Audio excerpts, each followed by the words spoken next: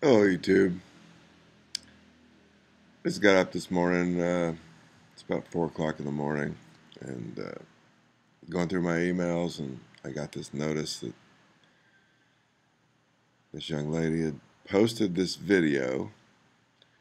And uh, as you can see here on the screen, it says, This is blanking scary. Zealots have taken over. At a loss, at a loss for words. And um, apparently, what we have here is we have some alleged Christians praying for Donald Trump here. And, uh, you know, I am a Christian, I'm a hardcore Christian, very dedicated believer. And if you notice, I don't fit the bill here. I don't have the image it's uh, considered common or appropriate in many circles. But that's okay. Because I don't play those games. But uh, what we have here is uh, she went further went with a comment said this is blanking scary listen to this blank and tell me if it makes you feel comfy inside. WTF is going on? Ah.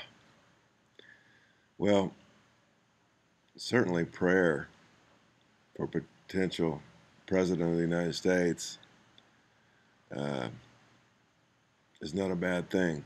So that in itself, you know, is, is, is obviously positive in, in my reality. Uh, here's my comment. The thing that's really scary in my reality is the seemingly ever increasing number of antichrists in America. And this as she continues to be flushed right down the toilet. But alas, stiff necked people deserve to have their necks broken, as they have clearly invited same upon themselves. And then there's one other comment that uh, the gentleman states that he's not sure if Trump believes these people are for real or not, but he's just playing the political game, and he makes reference to uh, some type of sexual act, which is inappropriate. But you know, I just wanted to bring this to your attention because this is the reason America's in the shape it's in today. We've thrown God out of the country, we've thrown God out of the schools, we've legalized killing unborn babies. Uh, we call it mother's rights, as though the babies don't have any rights at all. We've got a flaming homosexual in the White House, married to a dude in a dress. And, uh, you know, he's about to get us in World War III. Our economy is failing. And, um, you know, World War III looks like it's right around the corner. so, you know,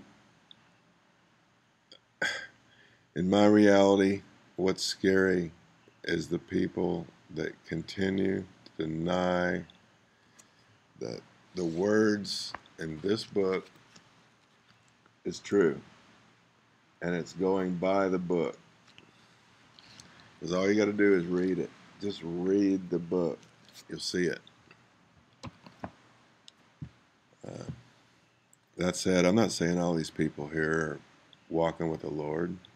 I'm sure some of them are wolves. I'm sure some of them are fleecing the flock, if not most but I don't know them individually, so I can't judge them.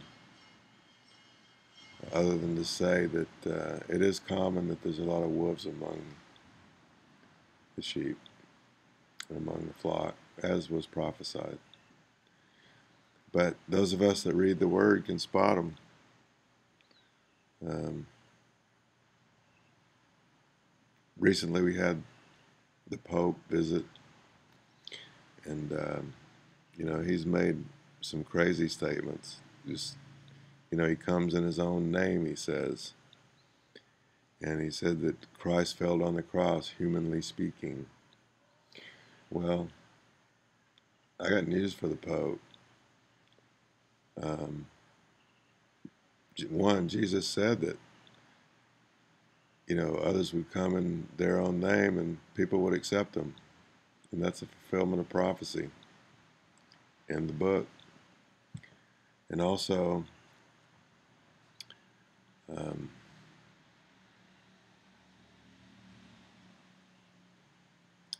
Jesus did not fail on the cross.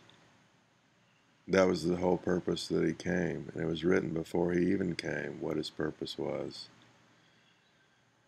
He won on the cross. He laid his life down. He willingly said, or he said that he willingly was going to lay his life down. There was no defeat there at all. And here we have the a gentleman that's supposedly one of the biggest leaders in the religious world that doesn't even know scripture. Yet people follow him by the billions and the billions. And, uh, you know, I'm sitting over here in the Philippines doing my best to wake up Catholics. We got a church down the street with an Horus right over the front door. And, uh, you know, I get little or no support from the so-called church. And, uh, you know, it's, it seems like it's all about money. You know, people think that, you know, Trump's going to come in and turn the economy around. Everybody's going to be happy and prosperous and all that again. But, you know, even if that were true, even if he could turn the economy around, which I don't think is going to happen, um, if he is elected. The word says that what does it profit a man to gain the whole world and still lose his soul? You can have it all and still be lost. Or you could have almost nothing and still be really rich. The word says Don't invest your time, effort, and energy into things that moth and rust destroy, but lay up your, for yourself treasures in heaven. So, how do you do that? You follow the Word, you be obedient to the Word, you share the Word, you teach the Word. Um, you rebuke if necessary, you reproof if necessary, because that's what the word is for. And yes, you do have to judge. And a lot of Christians will say, I don't judge. Well, no, we're supposed to judge. That's our job, is to judge. What Jesus actually said was, don't judge if you have a log in your own eye Get the log out of your own eye. Then you can see to get the mote out of your brother's. So, in other words, make sure you're running a clean, tight ship with the Lord before you start judging. Because you will be judged by the same measure that you judge. So, I can't tell you how many times a day I see scripture twisted, distorted, misquoted, misapplied, and um, you know, it, it seems like few get it. Everybody wants to follow these big time preachers, and you know, because they're flashy. But uh, you know, Jesus saw through that. It's like the woman that dropped a few coins in the donation at the temple, and the, even the apostles said, "Oh boy, a big spender here," you know. And Jesus says, "What are you talking about? She gave more than anyone else. All these other people gave about from their gave from their abundance. She gave all. She gave all." Are you giving your all? Are you sitting back waiting on a rapture?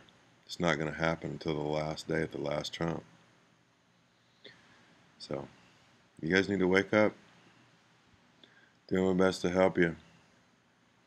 But uh, I see a lot of people still dead asleep. Love you. You guys take care. If I can help you in any way, please let me know. Okay? Take care. Bye now.